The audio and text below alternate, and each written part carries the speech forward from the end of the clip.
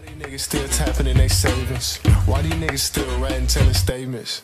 Vampire color coupe me and Stacy. Dash on a bitch, I don't care if niggas hate me. X6 lift, no belt, no safety. Bag on a bitch if the bitch wanna chase me.